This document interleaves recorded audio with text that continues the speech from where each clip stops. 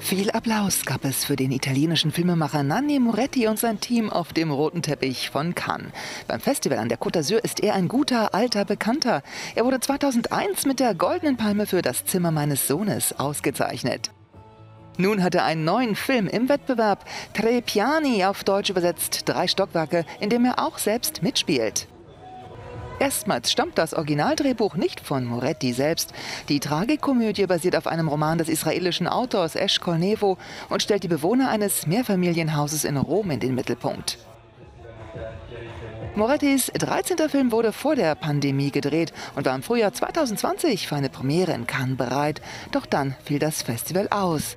Was lange währt, wird endlich gut. Trepiani ist einer der 24 Bewerber im diesjährigen Wettbewerb um die höchste Auszeichnung, die Goldene Palme.